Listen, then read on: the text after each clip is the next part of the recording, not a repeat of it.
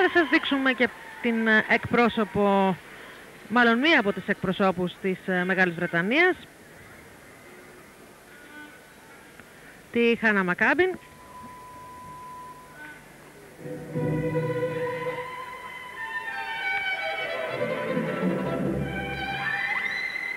Η ρυθμική γυμναστική εντάχθηκε για πρώτη φορά στους Ολυμπιακούς Αγώνες το 1984 στο Λος Άντζελες. Όσον αφορά το ατομικό βέβαια, γιατί χρειάστηκε να περάσουν 12 χρόνια για να εμφανιστεί και το, το ensemble. Αυτό συνέβη και πάλι στην Αμερική το 1996 στην Ατλάντα.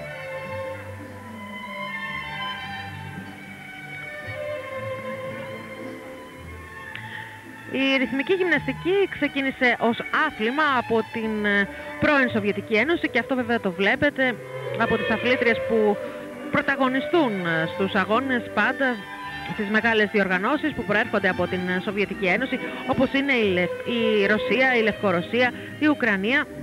Και βεβαίως και το Αζερμπαϊτζάν έχει αρχίσει να ανεβαίνει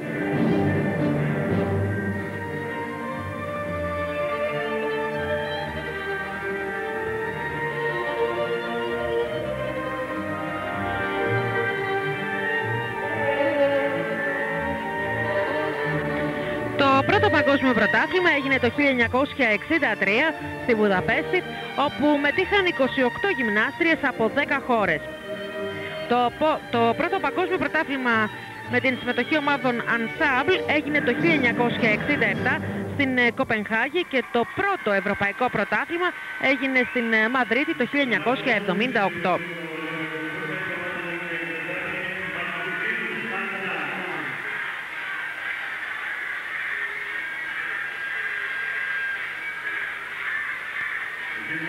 Στην Ελλάδα το πρώτο Πανελλήνιο Πρωτάθλημα έγινε το 1980 ενώ βέβαια τα τελευταία χρόνια έχει γίνει πάρα πολύ καλή δουλειά στην ε, ελληνική ρυθμική γυμναστική.